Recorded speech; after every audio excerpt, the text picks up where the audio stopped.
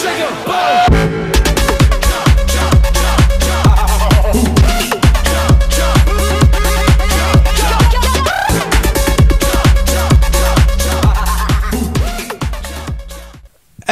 what's up, Hypers? Again and again, welcome sa ating Hype Youth Online. Sa lahat ng mga nakikinig at nanonood ngayon, welcome. Sa mga first time lang na nakasama namin ngayon, we're glad na nandito kayo ngayon, nakikinig, no? Again, in this uh, Hype Youth Online, we don't promote religion.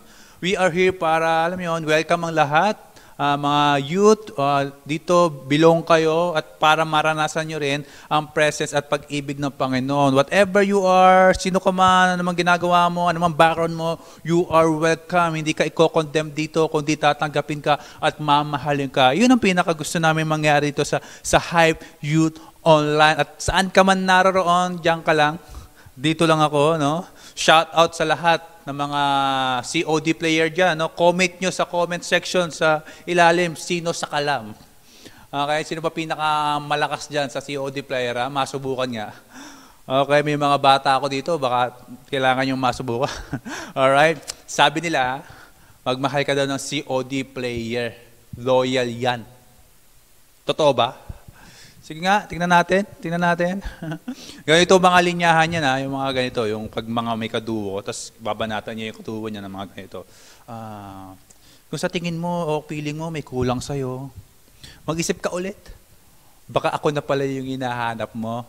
Eh, grabe, tindi, 100 1,000 IQ.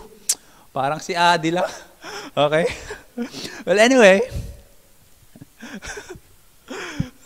Well, anyway, yung share ko sa inyo ngayong ah, gabing ito ay sa pinakasalita na gamit na gamit, mapabata man o matanda, eh alam ito. Ito yung salitang YOLO. Comment nyo, YOLO. You only live once. And this is true. That we only live once on this earth. Isang beses lang. Okay? Physically ah, isang beses lang. Pag namatay ka, wala na. Hindi ka na mabubuhay muli physically. Si Jesus lang ang makakagawa nun. Kaya sabi dito sa, sa Ecclesiastes chapter 3 verse 1 to 2, For everything there is a season, a time for every matter under heaven, a time to be born, tingnan nyo ah, and a time to die. Dalawa lang. Hindi sinabing a time to be born and a time to be born. Ulit, hindi. A time to be born and a time to die. Okay? Dalawang bagay ang mangyayari sa atin. Yung nabuhay ka, nabuhay ka na. 19, sino mga 90s dito? 90s. Shout out. Mga 20s. Yan. Mga 20s. Karamihan, di ba? Okay? So, nabuhay ka na. Meron pang isa. yung mamamatay ka. Sa ayaw mo man at sa hindi, mangyayari sa iyo yun. Hindi ka makakaiwas dyan. Mamamatay ka, mamamatay ka. Okay, comment mo dyan. Okay, sabi mo, mamamatay ka. okay? Ayaw man natin o hindi, mangyayari sa atin dyan. Okay? Kahit anong exercise mo o kain mo ng gulay, mamamatay ka pa din. May namamatay na bata, may namamatay na patanda, may namamatay na mayaman, may namamatay na mahirap, may namamatay na may sakit, may namamatay na walang sakit. Wala talaga exemption. Hindi natin maiiwasan tong kamatayan na to. Kaya may YOLO eh. Di ba? Kaya may YOLO kasi alam ng mindset natin na mamamatay lang din tayo. Kaya, alam mo yun, you only live once eh. May kamatayan. Ang problema, ito. Ito yung problema. Kapag lagi natin sinasabi, ay, YOLO, YOLO, sige, gawin natin yan. This is the problem. Nami-misunderstand natin ang salitang ito. Itong YOLO. Kasi ang problema, hindi naman yung salitang YOLO eh. As is, andyan na yan eh. Mot- Motto na yan eh. Ang problema, ano yung ginagawa natin o ano yung mindset natin sa salitang ito. Alright? Yung mga, ay sige, gagawin ko na yung lahat. YOLO naman eh. Yung mga ganon, yung kukunin ko na yung lahat, kakainin ko na ang lahat. Bakit? YOLO eh. Ang problema, yung ginagawa mo nga lahat ng gusto mo, pero hindi pala yun yung gusto ng Diyos. That's the problem. yung kahit mali na, ginagawa mo pa din, dahil ang dahilan mo, minsan lang mabuhay, o isang beses lang mabuhay sa mundong ito, mali yun. Okay? Yun yung sinasabi mo, sige pre, inom lang tayo. Bakit? Minsan lang mabuhay eh. Inom lang. Bisyo lang tayo. You only live once. Mali yun. That's the problem. Okay? Bakit ko po nasi-share ito sa bawat isa, mga youth? Kasi niremind din ako ng Panginoon regarding this YOLO. Bakit? Kapag may lechon, kakainin ko yan, titirahin ko yan. Bakit? Minsan lang mabuhay. Okay, ano man mga pagkain dyan, sige, gagastosan ko yan. Ang problema, gastos ako ng gastos. Alright, nauubos na yung pera ko. Nakakalimutan ko na na may bukas pa. Okay. So, imagine, imagine that, YOLO. And share ko lang sa inyo, nung na-hospital ako dahil sa acid at appendicitis, grabe. Grabe itong experience ko ito. One week ako sa hospital naka-admit at three days akong namimilipit sa sakit sa tiyan, sobra na. Sobrang sobra yung di ko na kinakaya talaga. Kaya yung nag-pray ako kay Lord, Lord, alam mo yun, yung kapag nandun ka na, na alam mo hindi mo na kaya, nakahiga ka, hindi ka makatayo, hindi ka makakilos na maayos, hindi ka makatulog, three days hindi ako makatulog, grabe talaga. And I pray to God, sabi ko, Lord, Lord, alam ko makapangyarihan ka, alam ko powerful ka, pastor ako eh. Naniniwala ako kay Lord eh, may faith ako eh. I pray to God, Lord, pagalingin mo ako, Lord, now na. In Jesus' name, Amen. Ayaw gumaling? Hindi gumagaling? Grabe. Grabe talaga. And three days na sumasakit yung tiyan ko at hindi ako makatulog. On the third day, I pray to God. Sabi ko, Lord, kung hindi rin naman mawawala tong sakit na ito, ako na lang ang mawala. Yun na yung mindset ko. Na iniisip ko na mas mabuti na lang mamatay kaysa patuloy kong maranasan yung sakit na yun na hindi ko kinakaya. Sakit. Sobra. But praise God, pinagaling ako ng Panginoon. Binigyan ako muli ng buhay ng Panginoon. Binigyan niya ako ng chance Grabe, God gave me another chance to live. And the question here is ano yung dapat gawin natin sa buhay natin na meron tayo ngayon? Dahil nga may YOLO, YOLO, ano yung gagawin natin? Unang-una, okay, mabilis lang ito. Diyan lang kayo, huwag kayong mawawala, no? Unang-una, anong gagawin mo? Dahil nga may YOLO, una, be grateful. Tandaan mo, you are blessed because you have life. At magiging masaya ka, hindi dahil wala ka ng magagandang cellphone, hindi dahil wala kang magandang uh, sasakyan, hindi dahil mahirap ka, hindi dahil broken ka, hindi dahil sira yung pamilya mo, hindi, magpapasalamat ka dahil may buhay ka pa. Binigyan ka ng buhay ng Diyos. At malaking bagay na yon. Wala ka man ng mga bagay sa mundong ito, at least may buhay ka. You need to be grateful kung anong meron ka at kung anong binigay sa iyo ng Panginoon. Huwag mong kakalimutan ang Diyos na nagbigay ng kung anong meron ka. Huwag na huwag kang makakalimot magpasalamat sa Diyos. Be grateful. Pangalawa, be godly. Because YOLO, okay, hindi ito yung magpapakarelihiyoso ka, magpapaka-perfect ka, hindi gano'n, no? kundi huwag kang gagawa ng masama o mali dahil lamang sa kadahilan ng minsan lang mabuhay. YOLO naman. Hindi ganon. Yes, minsan ka nga lang mabuhay, dapat ginagawa mo na yung tama. Ginagawa mo na yung purpose ng Diyos sa buhay mo. Because God created you in His likeness and like and image and likeness. Ganon kanilikha ng Panginoon dapat kung ano yung purpose mo, yun yung ginagawa mo sa mundong ito. Alright? Huwag kang mabuhay nang walang kabuhay-buhay. Yung meaning ng buhay mo, meaningless. Dahil bakit? Hindi mo nagagawa yung purpose mo sa mundong ito. Itong lamesa, ginamit yan para lagyan ng mga pagkain, ng kung ano, ng laptop, desktop. Ang upuan, nakadesign yan, ang purpose yan ay gawing upuan. Upuan. Okay? ang ilaw, ginagamit yan para umilaw. Yung electric fan, ginagamit yan para magpahangin. Okay? Kapag ang electric fan, hindi niya na nagagamit ang purpose niya, hindi na siya nagpapahangin, ay wala lang kwenta yon. Wala na siyang purpose eh. Tinatapon na yon. Ganun din sa buhay natin. Huwag natin kakalimutan na may purpose ka sa mundong ito.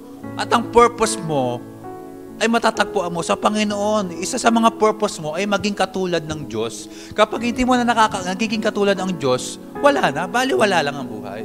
Especially kapag wala kang Diyos at hindi mo kinikilala ang Diyos bilang hari at tagapagligtas mo, mahirap yon. Okay, nagagas din nyo? That's why be godly. Dapat nakikita ang Diyos sa buhay mo. Gagawin mo yung kalooban niya, di ba? Not my will, but your will be done. God's will. Alright, hindi your will. Okay, pag may mga gusto kang mga ah, babae o kaya lalaki na pogi, maganda, maputi, tapos ito yun, gusto ko to, eh hindi yun yung gusto ng Panginoon para sa'yo eh. Pero pinilit mo, hindi dapat ganon. Sige, pilitin mo yan, jowain mo yan, maging asawa mo yan, tapos later on makakakita ka ng mas maganda, mas maputi, mas mabait, mas mayaman. Sasabihin sa'yo ni Lord, yan sana yung bibigay ko sa'yo eh. Kung hindi mo sinunod yung kalooban mo. Okay? You need to do God's will. Okay, wag mo lang hintayin na nasa bingit ka ng kamatayan, saka mo sasabihin kay Lord na magpapakabait na ako. Daming ganon. Yung nasa bingit ng kamatayan, yung nasa, nasa hospital, sabi, Lord, ah, nananampalataya agad kay Lord. Bumabait. Okay? Hindi dapat ganon. Now is the time. Huwag mong sayangin ang panahon mo sa mga walang kwentang bagay, sa mga maling bagay. Be godly. YOLO eh. Minsan ka na lang mabuhay, gawin mo na yung tama. Gawin mo nang yung pinapagawa sa'yo ng Panginoon. Alright? Be grateful, be godly. Pangatlo, be generous. Hindi lang itong materially, kundi i-invest mo din yung time mo para sa iba. Baka kailangan nila ng kausap o karamay. I-encourage mo yung kaklase mo. O yung kaibigan mo. Baka yung iba dyan, pagod na, ayaw na, dahil sa sobrang dami ng thesis, sobrang dami ng modules, okay, parang hirap na hirap na sila, kausapin mo, encourage mo, alright? Invest your time. Be generous. Tulungan mo sila na magkaroon ng pag-asa. Pwede mo silang kalaruin, pwede mo silang uh, kausapin, kung ano man ang mga hilig nila. Oh. At higit sa lahat, pag-pray mo sila at ipakilala mo si Jesus sa kanilang buhay. Be generous, don't be selfish. Sabi nga, di ba, magbigay ayot sa kakayanan. Okay? Kung ano meron ka, kung ano mang kaya mong ibigay, ibigay mo, be generous, tulad ni Jesus Christ. Napaka-generous niya, kung saan kahit buhay niya ay naibigay niya para sa iyo. Naway ganon din tayo sa iba. Hindi man buhay natin mismo ang maibigay natin, kundi makapagbigay tayo kahit papano ng oras, ng lakas, anumang bagay na meron tayo para sa kanila. You need to be generous. Alam niyo yun, Jesus Christ, sobrang generous na kung saan hindi mo deserve ang forgiveness pero pinatawad ka pa rin. Napaka-generous siya na kung saan despite ng kamalian mo ay minahal ka pa din niya. Tinanggap ka pa din niya. Alright? Napakaganda lang na kung saan makikilala ka ng tao dahil generous ka. Be generous. Okay? Pang-apat, be glad. Be glad. Huwag na huwag mong uubusin ng oras mo sa pagiging malungkot. Minsan na nga lang mabuhay, malulungkot ka pa. Enjoyin mo na yung buhay na meron ka. Not to the point na ini-enjoy mo kahit kasalanan. Hindi ganon. Kundi, e-enjoy mo ang buhay mo na kasama ang Diyos. Kung babasahin natin yung Ecclesiastes eh, yun yung essence nun eh. You need to enjoy life. Okay, enjoy life, enjoy. Sige, okay lang naman kumain ng kumain. Okay lang naman uh, gawin yung gusto mo as long nakasama ang Panginoon. Alright? As long na ginagawa mo yung tama. Okay? You need to enjoy life dahil kasama mo ang Panginoon eh. Ba, kung makita mo nga lang at makasama mo ang twice, sino mga twice dito? Alright? You only live once, once. Alright, mga fans, alright? Magiging masaya ka, o kaya BTS, di ba? Magiging masaya ka kapag kasama mo sila. Alright? Diba? Ako kapag nakakasama ko si Chewy, Chewy, kala si Chewy. Alright? Nang twice, grabe. Hindi ako mapapakali. Papa-picture ako, papa-autograph ako, papa... Lahat. Makita ko nga lang eh. Di ba? Magiging masaya ako eh. How much more ang Diyos? He can give more, more, and more. Okay? Sa Kanya mo lang matatagpuan ang tunay na ligaya. Mabuhay ng kasama ang Diyos because you only live once. Hypers, if you hear the word YOLO, remember this. If we live once, we live right. Kung isang beses lang tayo mabubuhay sa mundong ito, mabuhay na tayo ng tama. Mabuhay na tayo ng ayon sa gusto ng Panginoon. Mabuhay tayo ng kung saan tama yung purpose natin at ayon sa plano ng Panginoon. Let's live it with significance today for a better tomorrow.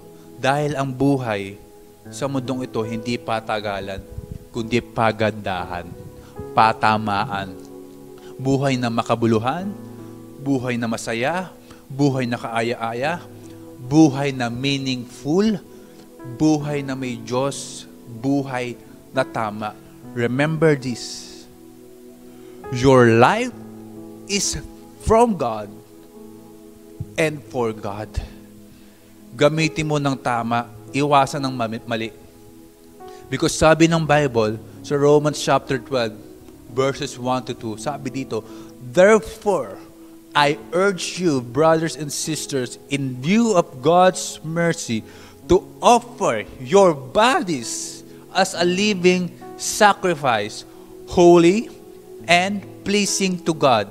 This is your true and proper worship.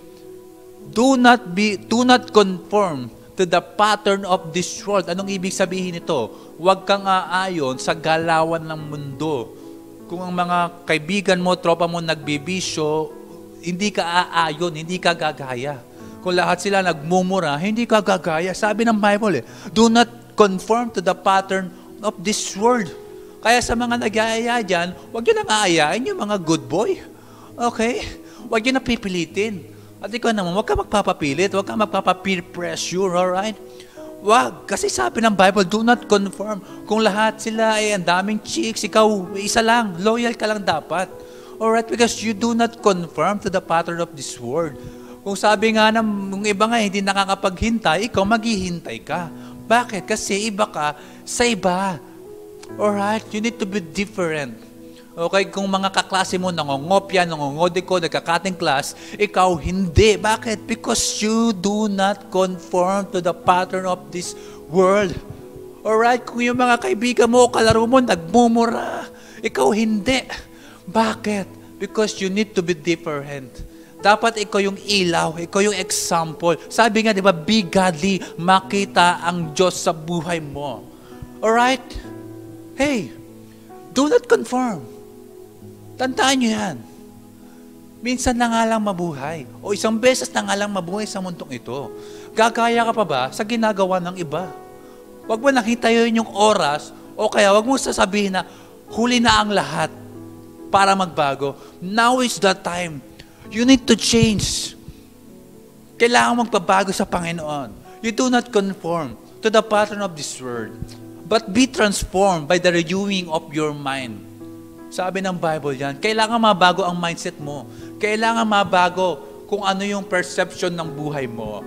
Alright? Alisin na natin yung mindset natin na yes, YOLO, gagawin na natin yung gusto natin, kahit mali yan, titirahin natin yan. Hindi na ganon. Dapat mabago na yung mindset natin, mabago na yung iniisip natin patungkol sa YOLO. Yes, because it is YOLO, we live right. Alright? will live with God. Alright, then you will be able to test and approve what God's will is, His good and pleasing and perfect will. Yes, binigyan ka ng buhay ng Panginoon. The question here tonight, anong gagawin mo sa binigay sa iyo ng Diyos? Okay? May nakikita ko, ito, ito, ito, ito yung magandang i-mindset natin ha. Tingnan nyo to ha. Listen to this mga, mga hypers ha. Ito matindi. Example, binigyan ka ng bagong cellphone. Anong gagawin mo? Magiging masaya ka, syempre, di ba? Anong gagawin mo? Syempre, gagawin mo kung ano yung dapat purpose ng cellphone. Pang text, pang chat, pang laro, ah, pang video, everything. Ano man yung feature ng cellphone, gagawin mo, tama? Kasi doon siya nakakreate eh. Yun yung purpose niya eh. Tama? Bakit ka ba magpapalit ng cellphone? Kasi nga, hindi na gumagana yung luma mo. Sira na yung luma mo. Kaya bibili ka ng bagong cellphone. Ganon din sa buhay natin. God gave you life. At binigay yun ng Panginoon for a specific purpose. May purpose ka. May plano ang Diyos sa buhay mo. Dapat yun yung ginagawa mo. Okay? You need to do what God wants you to do sa buhay mo. Hindi dapat ikaw yung nasusunod sa buhay mo. Hindi yung plano mo. Kundi plano ng Diyos ang gawin mo sa buhay mo. Yes, minsan na nga lang mabuhay. Isang beses na lang mabuhay. YOLO. Okay? Yung mga oras na meron ka, yung mga panahon na meron ka pa, gamitin mo yan para sa Panginoon. Gamitin mo yan ng may kabuluhan. YOLO. Comment mo dyan, YOLO. Sabi mo ako yon, di ba? I need to change. Ha? Kailangan mabago ang mindset ko. Darating ang panahon na lahat tayo haharap sa kamatayan. Na lahat tayo mawawala sa mundong ito. May oras tayo. Imagine that. Ang tanging magagawa natin doon ay maghanda. At ngayon, na meron tayong buhay, dapat may ginagawa tayo na kaaya-aya sa paningin ng Panginoon. Ginagawa natin yung tama. Ginagawa natin yung dapat nating gawin sa mundong ito. Hypers, youth, saan man kayo naroroon, I encourage you, isipin natin ito sa, ating buhay, no? Alam niyo yun, na hindi, hindi naman natin deserve na bigyan tayo ng buhay. Bakit? Makasalanan tayo. But still, binigay pa rin ng Panginoon. Binigyan pa rin tayo ng buhay. Alam niyo yun? Alam niyo, mahal ka ng Panginoon eh. Mahalaga ka sa Panginoon. Yung buhay mo mahalaga. Tatandaan mo yan. Huwag mong sasayangin. Huwag mong aaksayahin sa kung anong-anong bagay. Kailangan gawin mo na yung pinapagawa ng Panginoon sa buhay mo. YOLO. And especially, ngayong gabing ito, because it is YOLO, minsan lang mabuhay at may kamatayan, you need to be ready. Pag dumating na yung panahon na mawawala na tayo sa mundong ito, whether we like it or not, darating yon, you, you need to be ready. Sa paanong paraan? Kung hindi mo pa natatanggap at nakikilala ang Diyos sa buhay mo, now is the time, okay, natanggapin ang Diyos sa buhay mo. Accept Jesus Christ to be your Lord and Savior. Okay? Again, uulitin ko, in this hype youth, alright, you are not here para i-condemn ka sa lahat ng ginawa mo, lahat ng pagkakamali mo, an- anong background mo, anong itsura mo. You are not here to be condemned, but to be loved, to be accepted by God. And tonight, we will pray. If you are that person, Lord, ako yun ah. Kailangan kita. Kailangan ko ng pag-asa. Kailangan ko ng kaligayahan. Kailangan kong magbago. Kailangan ko ikaw, Lord, sa buhay ko. And if you are that person, we will pray right now. Okay? Can you just bow your heads wherever you are? Close your eyes. Wala naman nakakita sa inyo, sa cellphone ninyo, no? close your eyes and repeat this prayer after me. Sabi mo, Lord, Panginoong Diyos, inaamin ko na ako'y makasalanan. Humingi ako ng kapatawaran at tinatanggap kita, Panginoong Isus, bilang Diyos, tagapagligtas at hari ng aking buhay. Salamat po sa pagkakataon at panibagong buhay na binigay mo sa akin. In Jesus' name, Amen. Ako na lang mag-pray. Alright, still, close your eyes. Let's pray. Lord, we thank you for this night. Thank you that you reminded us kung paano namin ibang mindset o gagawin namin sa salitang YOLO, Lord God. Yes, we live once, we will live right. We will live what you want us, Lord God, sa buhay namin, Lord God. Hindi kami aayon sa galawan ng mundong ito, kundi aayon kami sa gusto mo sa buhay namin, Ama. Not my will, Lord God, but your will be done on us, Lord God. Lord, salamat po sa lahat ng mga youth. Alam ko may purpose ka, may plano ka. At alam ko, Lord God, na itong youth na ito, itong generation na ito, Lord God, ay grabe. May gagawin ka, Lord God. Alam ko, mahal mo sila. Alright? Patuloy mo silang gabayan at ingatan, Lord God. Let your kingdom come and let your will be done sa buhay ng mga youth na ito, Lord God. In Jesus' name, Amen and Amen. Alright? Hey! Alright. Okay, and mamaya meron tayong Zoom Hangout. Huwag niyo kakalimutan yan. So, join kayo. Mamaya, may link dyan sa comment section. O kaya, i-chat nyo ating uh, page para sa link ng ating Zoom Hangout. Huwag kayong mawawala. Masaya yon. Meron tayong mga prizes, may games tayo doon. At makikilala nyo yung ibang mga hypers. Okay? Sa mga first time, huwag kayong mahihiyang join. You are welcome. Okay? Para makilala ang ating mga hypers sa uh, ito mamaya sa Zoom Hangout natin. Okay? So, God bless everyone. Stay safe. All right? We love you all. See you again next month.